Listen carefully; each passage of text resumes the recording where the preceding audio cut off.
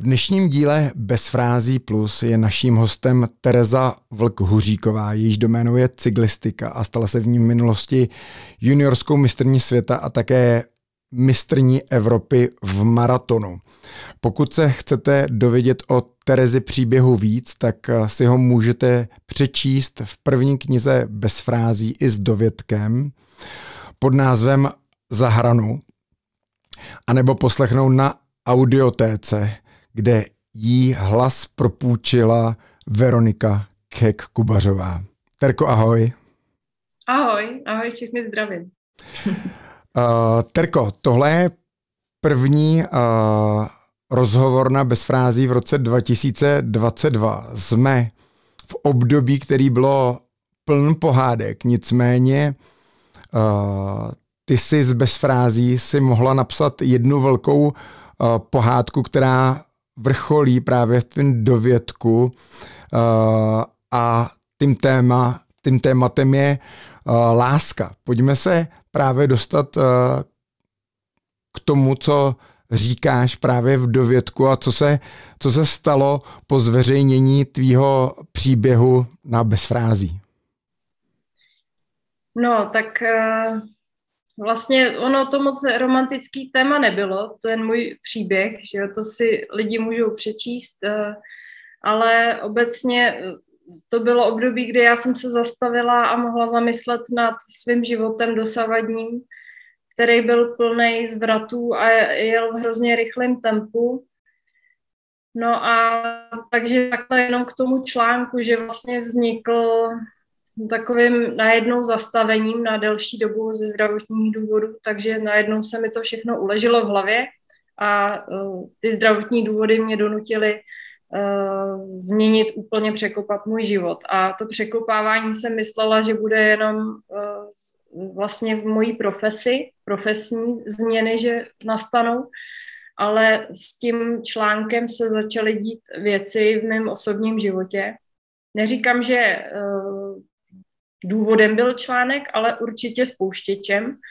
Takže uh, velký podíl na tom samozřejmě má to, že člověk změní vlastně smysl svého života, protože eh, profesionální sportovec aspoň ten tím sportem žije a dává do něj všechno a to, co, to, co žije, tak, eh, tak to je jenom odraz nebo nějaký komfort, nějaká komfortní zóna, která nabízí tomu sportovci podávat ty maximální výkony. Jenomže když člověk přestane sportovat, tak najednou třeba od života očekává úplně něco jiného.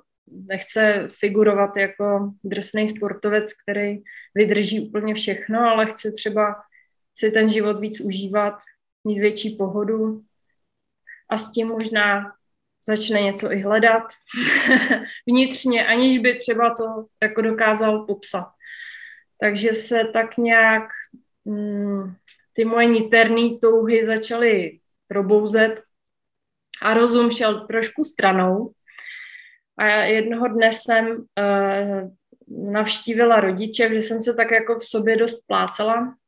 Uh, nějak musím říct, že dneska už chápu, proč, když sportovci končí v tom sportu uh, a začínají vlastně od píky v dospělosti, že začínají ve 30, ve 40 žít znova jinak úplně, takže to s nima zamává, protože já si myslím, že jsem taková pohodová, že jsem pozitivní člověk, že do všeho jako jdu s nějakou pokorou že si o sobě nemyslím, že jsem mistrině světa, takže mi to jako nahrává v tom, že jsem učenlivá třeba, nebo mě věci zajímají, ale mm, třeba když jsem právě měla začít dělat novou profesi, tak to se mnou prostě zamávalo. A tak i ten vztah to asi můj dosavadní tak nějak poznamenalo a člověk pak je otevřený novým vztahům. Takže já jsem pak odjela na vlastně prodloužený víkend k rodičům a a nevím, zní to blbě, stačilo mi 10 minut v posilovně vidět jednoho kluka, který mě na první pohled zaujal, navíc jeho uh, uh, kontakt se mnou začal tak, že já jsem se s ním nehodlala bavit, jako jenom jsem mě zaujal. A najednou jsem slyšela z vedlejšího stroje jako fakt musím říct dobrý článek. A já jsem říkala, cože, to je na mě, nebo jaký článek? Taková strohá informace, která jako mi tu chvíli nic neřekla.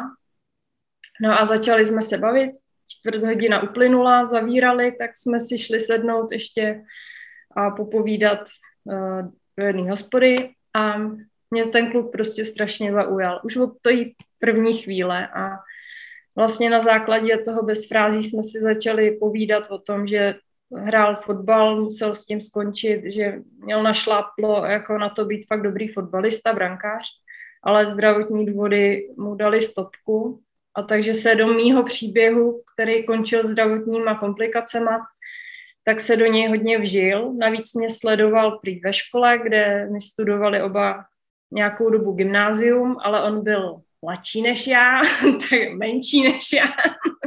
Takže já jsem si ho jakoby nevšimla. No. a, a takže on mě znal, já jeho ne a ten můj příběh ho hrozně zaujal.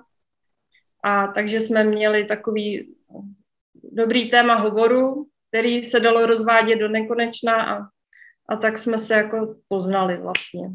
A tím, že mě zaujal, tak jsem si ho prostě našla.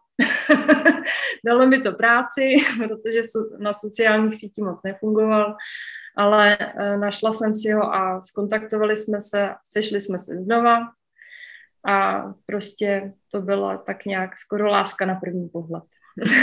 u mě na první pohled, u něj třeba na druhý. tak tohle je takový krátký úvod a myslím si, že nejenom Fanda Prachař, autor toho tvýho příběhu, teďko z toho má velkou radost, jak vlastně se to všechno, eh, všechno to proběhlo. Já se chci vrátit k tomu, než eh, budeme pokračovat v tom, jak se to rozvíjelo, ten váš, ten váš vztah. Tak ty tam popisuješ to, že se v tobě vlastně staly změny, že jak jsi se začala transformovat z toho profesionálního sportovce a popisuješ to právě v tom svém příběhu, jak tě vykopla ta trombóza z toho, z toho kolotoče. Tak co se tam přesně začalo dít za změny v tobě? No, já jsem vlastně si uvědomila jednak tu dřinu toho sportu, která, jak jsem poslouchala i třeba e, teď rozhovor s Barborou Strýcovou, tak úplně mi mluvila z duše, když říkala, že teď žije ten normální život a že takový to úplná euforie z vítězství, že tam není, že úplná takový ten stres, že člověk úplně jde na dno, i fyzických možností možná, i, no určitě, i jako psychicky, že to je stres obrovský, ten zápas, to vypětí, u mě závod, tak to tam najednou není. A, a člověk má najednou pocit, že ten život je takový jako uh, ne obyčejný, ale že vlastně má pocit, že už nikdy neprožije ty silné emoce, ani negativní, ani pozitivní, že je to tak, jde proplouvat ten život, že tam o nic tak zásadního nejde. Pokud někdo jako nemá z rodiny, že jo, pokud nepřijde stres jako zdravotní komplikace nebo jako úmrtí, něco takového. Tak jako v tom běžném životě já jsem měla pocit, že už mě nic nemůže rozhodit, jako, že ten sport je prostě tak eh, plný emocí, že ten normální život pak by přišel takovej jednoduchý. Nebo eh, bez, bez takových silných prožitků. No. Takže to byla jedna taková věc, že jsem se zastavila vlastně, že najednou tam nepřicházely každý týden ty emoce, každý den ty emoce z tréninku, ze závodu. A že najednou jsem uvolnila mi mysl na to se zamyslet nad tím, co jsem to vlastně prožila za těch svých už 30 let, protože jsem končila ve 30 a uh, vlastně odmala jsem žila sportem a sněla jsem o tom, že budu dobrá sportovkyně, jakmile jsem usedla na kolo nebo na běžky. A k čemu si došla? Malá, ale když jsem začala sportovat, tak už jsem vlastně byla v těch sportech dobrá a už jsem začala mít tu touhu potom být lepší a překonat někoho a nebyl tam nikdy moc prostor na to nad sebou přemýšlet jinak jako nad člověkem, bez výsledků, bez uh, nějakých čísel. Já to říkám, že ten život je o číslech. Ten život sportovce je o číslech a v tom se otiskává, jaký ten člověk je, nebo člověk má, nebo já jsem měla pocit, že za mě hovoří moje čísla. A lidi mě mají rádi nebo ne, nesnášejí jenom uh, jestli ty čísla jsou dobrý nebo nejsou dobrý. Ať je to váha, ať je to výsledek, uh, ať je to čas. Tak všechno tohle, ty čísla z člověka nějak charakterizují v tom sportu, ale ne v životě. Jo. V životě mm, mě možná budou mít tady doma radši, že jsem uvařila dobrou polívku, ale,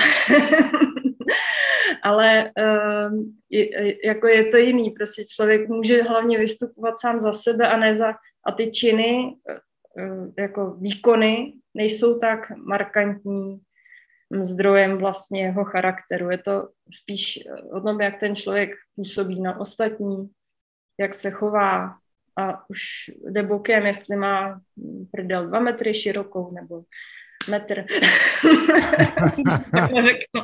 prostě v tom sportu ty lidi jdou za, za hranu v tom, co si dovolí člověku říct třeba, nebo ženská není jenom uh, ženská, který se všechno neříká, že jo, ale je to i sportovec, který je vlastně nástroj k výsledku jeho tělo je nástroj k výsledku, takže se jako řekne mnohem víc. No. A tak člověk, když najednou působí sám za sebe, může se zastavit a zamyslet nad tím a třeba i ty výsledky, zážitky ze závodů, ty medaile. Já jsem ani nevěděla, kolik mám medailí a když jsem začala uklízet, tak jsem si to vlastně uvědomila, že jsou sportovci, kterých mají mnohem víc, jo, mnohem hodnotnější. Ale pro mě to bylo jako procitnutí, že tyjo, já jsem vlastně toho hodně vyhrála, já z toho vůbec nic, ani si některý závody nepamatuju, že člověk má strašně klapky, já měla strašně klapky na očích. No.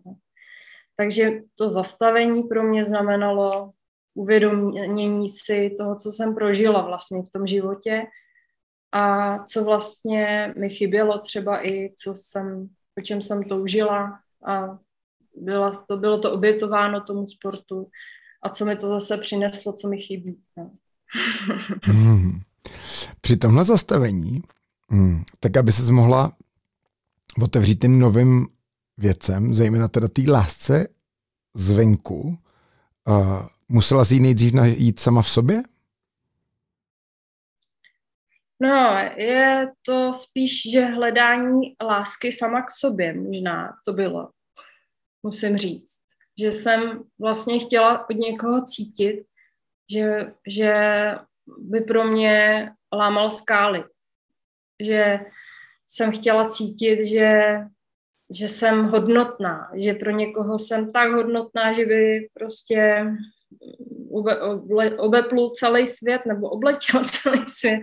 A myslím si, že to právě z toho vychází, že já jsem nebyla sama se sebou spokojená v té fázi, protože jsem vlastně jednak, jak jsem říkala, pořád člověk se snaží, sportovec se snaží držet životosprávu nebo mm, nepřibrat moc, což já vždycky přes zimu jsem přibrala. Hrozně jsme si rozuměli se Síňou, Ondrou Sinkem a s jeho trenérem, který mě uklidňoval vždycky na duka, dukelských uh, akcích, že neboj, přibrat přes zimu není žádný problém, hlavně to jako vždycky se, to tělo to potřebuje k regeneraci a tak, takže já vždycky dobrý, tak jaro to, jaro to zase uh, změní, uh, ale já jsem vlastně po té kariéře přibrala hrozně tím jenom, že jsem ležela, že už nepřišlo žádný jaro, žádný najíždění objemu.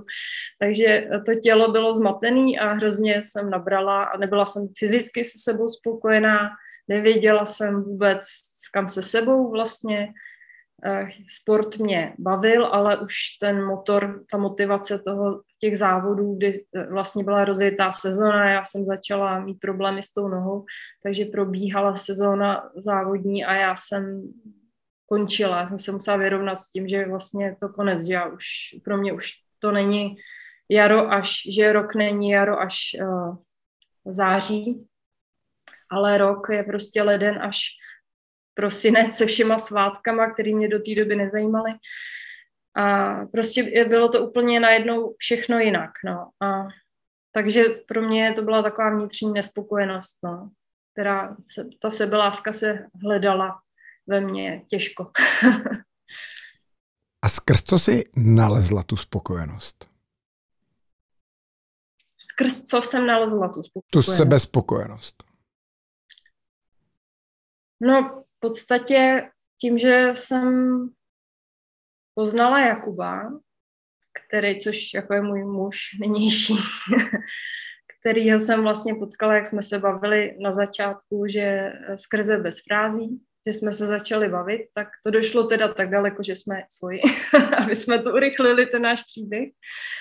Ale Jakub, eh, z něj, z něj jde hrozná, hrozný klid. On je takový um, taková klidná bytost, hodná klidná bytost. A mě teda hrozně dal takový klid vnitřní, no. Že vlastně jako to, co jsem hledala, asi jsem našla v něm, že on mi dal ten klid vnitřní, že taková ta uh, roztržitost toho, že kam teda patřím, komu, ne, komu patřím, to jsem tehdy věděla, ale, ale kam patřím, nebo kdo jsem, to jsem nevěděla a ten klid, že tvoje úvahy nejsou špatný, jsou prostě tvoje a ty musíš najít svoji vlastní cestu, tak to mi vlastně dal on. No.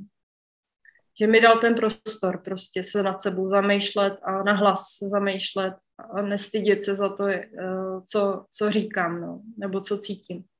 Takže ty si vyslala signál, že chceš ve svém prostoru člověka, který pro tebe obepluje svět a jak, ten, jak to funguje ten prostor, tak uh, přišla ta náhoda od, od slova nahazovat a on ti nahodil takhle pěkně Jakuba do cesty, skrz něho si poznala uh, samu sebe.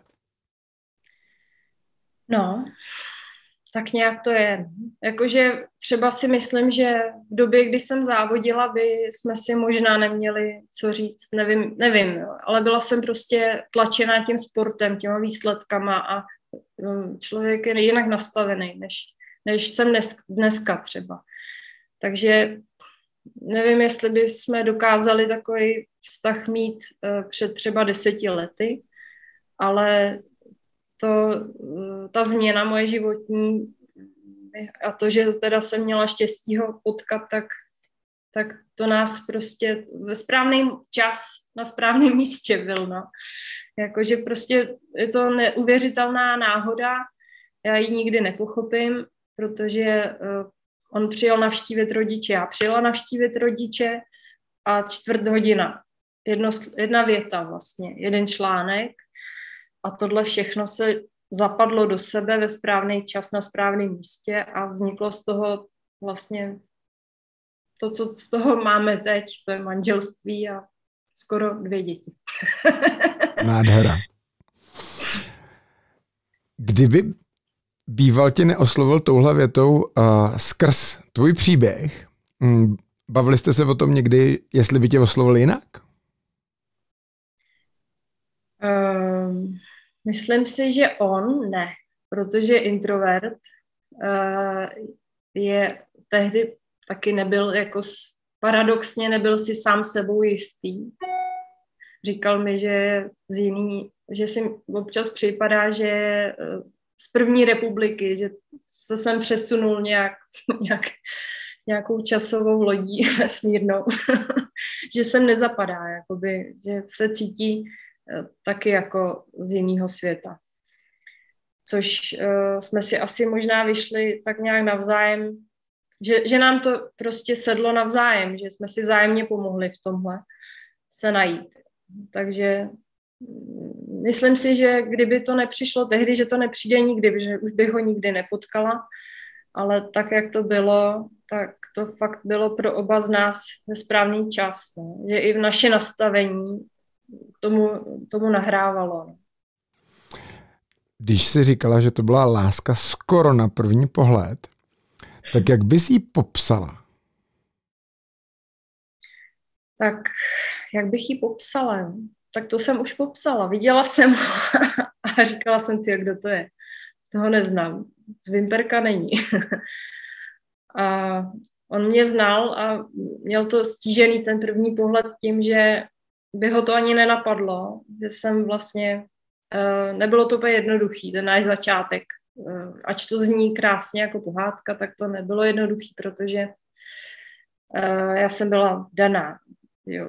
V tom rozhovoru bez frází to je, zaznělo, že a šťastně vdaná, tam to zaznělo, že jsem šťastně vdaná, jenomže, jak říkám, ve mně se začalo, začaly dít věci tím koncem kariéry, který vlastně probíhal, když jsem se s Františkem setkala a povídala jsem mu můj příběh, tak se to odstartovalo a já bych ani neřekla, že jsem jako hledala něco, jenom že člověk to má v sobě a ne, ani to jakoby nedokáže popsat, nebo neví to ani.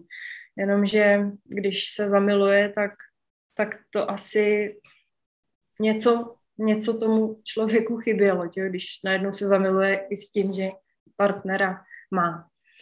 Takže to pak začalo být náročné a možná proto i u Jakuba, u Jakuba nebyl ten první pohled, no.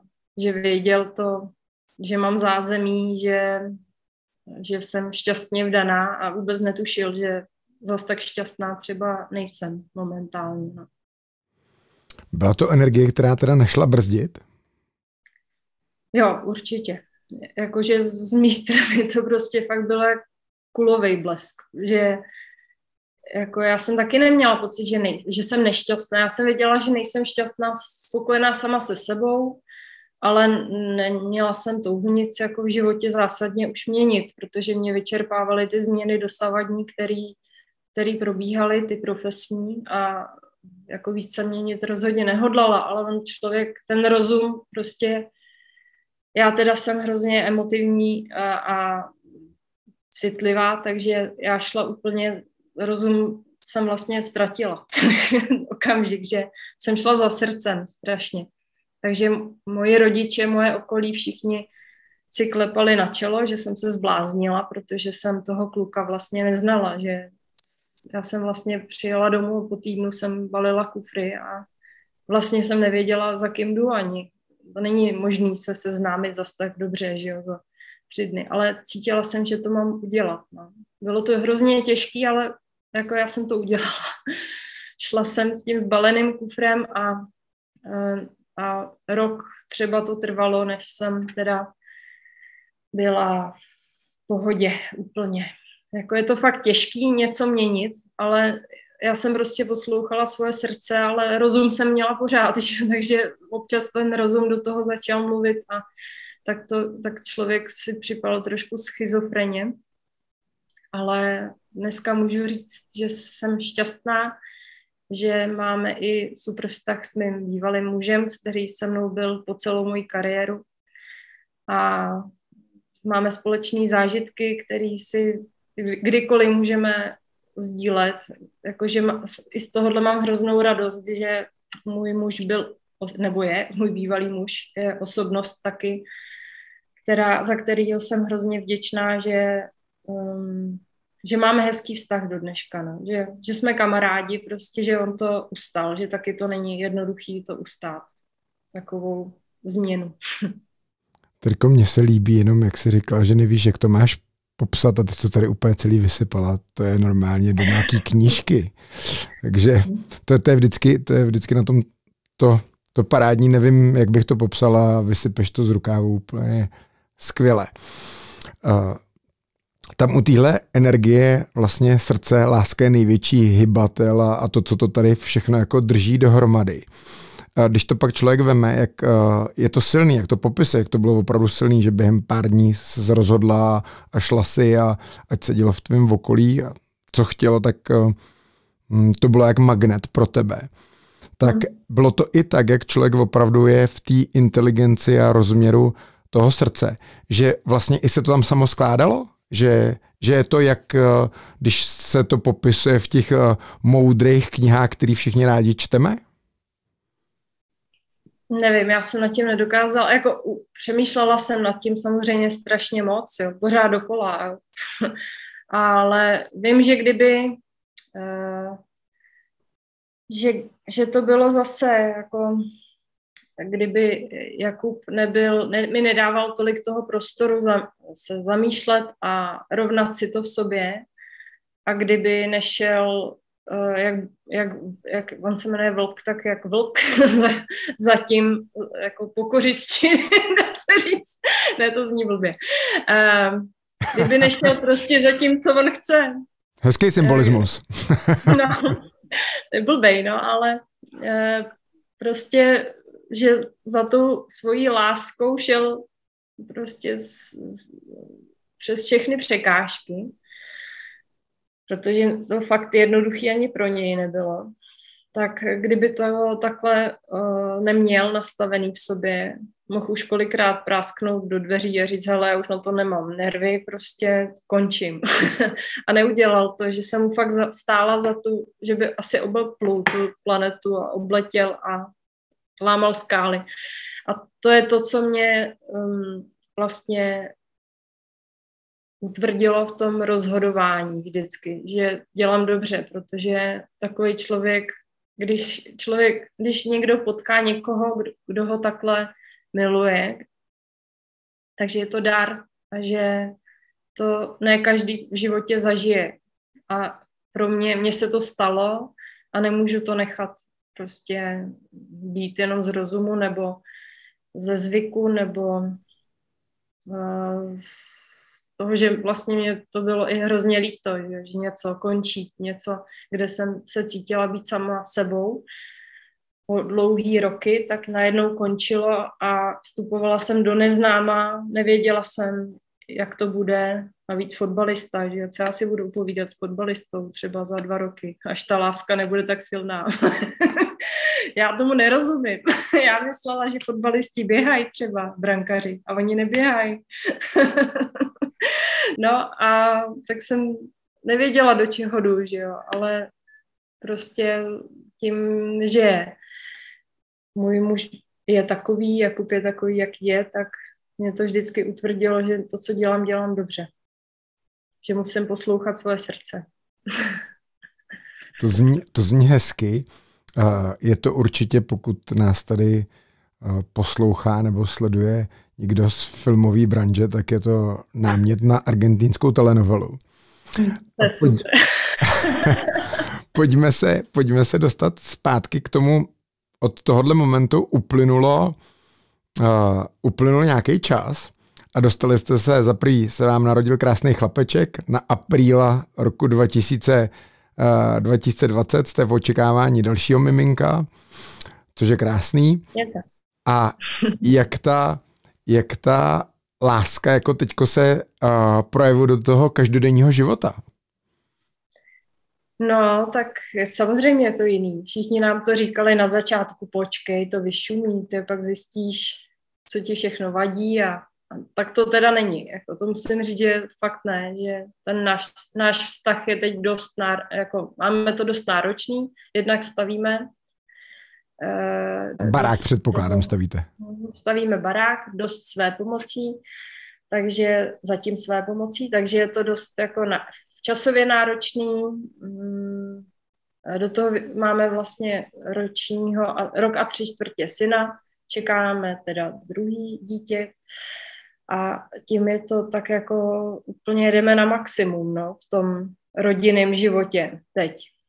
Uh, takže vlastně ta romantika nemá moc prostoru, jako měla na začátku, ale pořád ji v sobě máme, že, že pořád se hrozně milujeme a, a bereme to tak, že tohle všechno děláme spolu, budujeme to spolu a tu kávu na té terase a tu romantiku jako dřív si zase užijeme potom, ale musíme něco společně taky budovat, aby to i náš vztah třeba utužilo, že Jako patří to k tomu prostě. Není to ale něco, co lidi rádi říkají, počkej, až budou děti, tak se to změní. Počkej, až.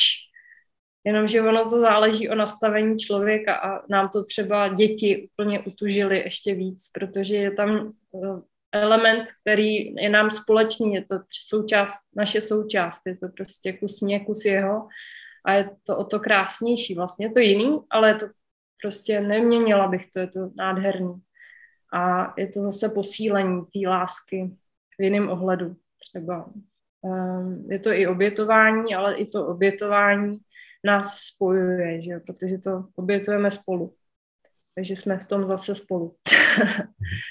Takže je to vlastně pořád krásný, i když je to třeba náročnější, i když se méně vidíme, nebo máme méně prostoru na to užívání si ve dvou třeba i, že máme rádi různý místa, třeba ten Krumlov, kde my jsme se jako uh, zblížili, tak Krumlov noční je nádherná záležitost, jestli chcete udělat něco pro své partnerky romantického, vemte je do nočního Krumlova, je to pecka.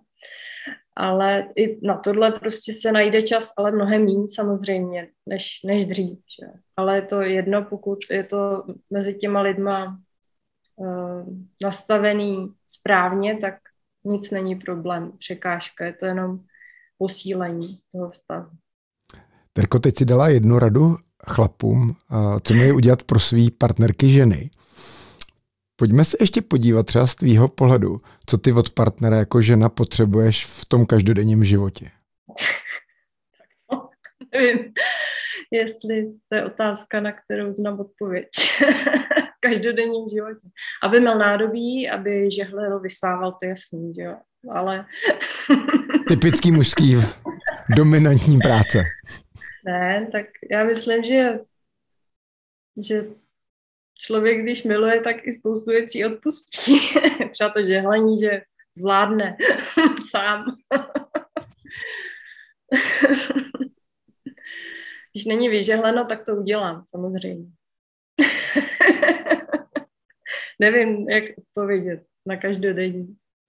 Co ty potřebuješ? Třeba potřebuješ, aby každý den si měl s ním chvíli, aby si s ním si mohla popovídat, nebo mm, nebo Já potřebuješ... potřebuju momentálně, mám rok a tři čtvrtě kluka, tak musím říct, že teď nejvíc potřebuju spánek. Takže večer, když přijde večer, tak já, uh, když si mám vybrat, jestli povídat anebo jít spát, tak je to jasná volba. Takže kolikrát mu to odpustím, že jako přijde pozdě a musím, a už je čas spát prostě, protože fakt, kdo má děti, tak to asi chápe, že spánek je úplná, to je prostě největší zážitek vlastně v životě, spánek. Alfa omega. Je to alfa omega, jako když není spánek, tak ten život stojí za prd. A naopak ty jako partnerka, manželka, hmm, v čem ty projevuješ směrem k němu tu náklonost? Hm. To jsme zašli teda úplně jako... to nevím. Děláš mu každý den třeba svačiny do práce? Teď přišel, může to říct, jo. tak, přesně, tak teď ne. tě uslyší, teď tě dokonce uslyší, takže... Já teď, teď nemůžu lhát právě, takže já nevím, co říct. Ale myslím si, že jako, že se snažím tím, že to teď třeba, vím, že to má náročný, takže se snažím mu pomáhat, když to jde. No, moc toho samozřejmě, pokud se týče stavby, tak to tak vařit, že jo? tak to se snažím třeba. Ale jako ta každodenní prostě snažím se při, přiložit v rámci možností ruku k dílu, aby, aby to naše, ten náš sen se budoval rychleji, aby to méně bolelo. ale jako mám omezené možnosti, no. ale myslím si, že ty gesta tam pořád jsou, že jich není třeba tolik na té denní bázi, ale že pořád prostě je to z těch jednotlivých gest cítit ta láska. Krásný. Pojďme se dostat, uh, teďko samozřejmě máš hezký starosti, nebo máte hezký starosti um, vychovávat uh, děti, přivést nový uh, život na svět. A teďko vlastně malý, jak jsme už zmínili, se vám narodil uh, na apríla 2020. Je v něm poznat tenhle ten aprílový charakter? No, šprýmař to je, to musím říct. Je, je vlastně hrozně veselý, je, rád se předvádí, má rád lidi hrozně, takže mu nedělá problém, když teda je mezi blízkými, když i, i víc blízkých, tak má i ve svém živlu vlastně a rád se trochu předvádí. A je to takový komik malý, no. Že už takhle malý vlastně je to taková osobnost veselá hrozně. To bych asi řekla, že k tomu aprílu tak patří. No. Samozřejmě to dítě asi daný eh, jeho věkem, tak mám pocit, že ten apríl si země dělá v jednom kuse, má hlad, pak najednou jíst nechce, eh, chce se mu spát, pak najednou je raubíř šílený hodinu a půl, člověk už neví, jak ho uspat. A takové věci, že, že ty rodiče kolikrát si mají pocit, že ten, eh, každý dítě je snad aprílový. Takže myslím, že tomhle um, to potrhnul akorát tím humorem svým. Mm-hmm. Pokud má víc charakteru? Jo, tak to, to bych ne, to nedokážu asi ještě říct. Všichni v něm vidějí mýho tátu, tak to mě moc nechci říct netěší, ale doufala jsem, že se v něm otiskneme my dva a když kohokoliv potkáme, tak ty jo, to je celý tvůj táta. a říkám, hm, tak jo. Na základě čeho tě to netěší? Ne, tak taťka je skvělý samozřejmě, ale tak chceme to, chce člověk se asi trošku to ego tam působí vlastní, že se chce otisknout, že chtějí slyšet, ty, to je celý ty a to je celý tvůj muž a uh, nechce to přeskočit, tu vlastní generaci. Rozumím. Uh, Terko, ty jsi vlastně po skončení kariéry si začala se věnovat projektu pro ženy, kde se dělá víkendy na kole. Je to něco, co, k čemu se chceš jednou vrátit? No já jsem to vlastně chtěla, měla v plánu udělat kemp ještě letos. Já dělám vždycky tak jeden, maximálně dva kempy za rok. A i s malým jsem ty kempy dělala, ale tím, že přišel covid uh, v plné síle uh, a zrušily se všechny akce, tak já jsem ten svůj kemp, který měl být v květ, květnu, tak jsem taky musela zrušit. A pak už jsem nevěděla, jak to bude, takže jsem vlastně ten nový, nový termín nějak nevyhodila a pak už jsem věděla, že chceme mít druhý dítě, takže jsem to nechala zatím. No. Ale jako ráda se k tomu vrátím popravdě, protože to je něco, co mě nabíjelo, když jsem závodila, že jsem dělala individuální sport a individualista moc nejsem takže jsem hrozně trpěla. Vždycky na konec sezóny jsem se cítila strašně jako eh, vysátá z toho, jak člověk přemýšlí a všechno dělá jenom, prostě přemýšlí nad sebou a všechno dělá jenom pro sebe a zaobírá se sám sebou. A najednou mi to dalo vítr do plachet, že jsem mohla to, co jsem se dozvěděla o cyklistice, o vlastním těle, o tom, jak to funguje na kole a co nefunguje, co funguje v technice, tak jsem mohla předávat někomu dalšímu a od nich si brát zase jejich příběhy, proč vlastně jezdí na kole, když nezávodí ty holky, co je motivuje, jaký mají život, co dělají za práci? A, a hrozně mě to pomohlo, že jsem slyšela taky ně, nějaký jiný příběh, nejenom ten svůj pořád dokola. Takže eh, byla ta motivace dělat ty kempy úplně jiná, než je dneska, když už nezávodím, ale pořád já mám prostě ráda lidi a ta sorta těch holek, ať eh, třeba znám ženský kolektiv i z té stinné stránky, že není to vždycky jednoduchý s babama vít. A i to moje kolegyně obdivovaly, jak mě napadlo vlastně dělat kempy jenom pro ženy, že to je vlastně nůž na krk trochu, ale není to tak, když se sejde ten babinec, tak je to fakt jízda, jako fakt dámská jízda. Že na tom kole, když se to spojí se sportem, každá je úplně jiná, každá má svůj příběh. Častokrát eh, se nějaká ta touha naučit se jezdit na kole pojí i s životním příběhem, že nějaký se, jako najít si svoji jistotu i životní třeba, že kolikrát se to tak pojí, že ať už mi tam jezdili rozvedený třeba ženský, který se snaží najít, chytit druhý dech a zase se v něčem najít a bavit se a poznat se líp, tak kolikrát jsem si říkala, aha, tak ono to není o tom naučit je techniku, ale je to naučit vlastně je mít se rád, věřit si. A že je to vlastně úplně o něčem jiným, než o tom kole kolikrát. A měla jsem hroznou radost vždycky, když ty holky odjížděly objímaly mě a šly jim třeba slzy do očí a děkovali mi, protože jsem v nich něco posunula dál nebo rozloupla nějaký oříšek a to mě hrozně vždycky dobíjí. No. Takže eh, ta technika a ježdění na kole, to je při, přidaná hodnota toho kempu, řekla bych. Takže určitě se k tomu chci vrátit. A je to něco, co by třeba, dovedeš si představit, že na základě téhle zkušenosti, kterou si uh, popsala, tak bys to dělala jako úplně třeba naplno? To asi ne, protože si myslím, že by se ze mě vytratila ta uh, lehkost nebo taková stoprocentní odevzdanost těm holkám, že, že fakt do toho víkendu dám všechno, mám to připravený, mám pro ně dárečky, mám pro ně program a jsem jenom jejich. A eh, nabíjí mě to, nabíjí to je, ale kdyby to bylo každý víkend, tak už je to pro mě práce a už se to podle mě změní, že už to nebude, že už to bude víc rutina taková. Nechci to riskovat. Eh, vím, že, vím, že takhle mě to baví.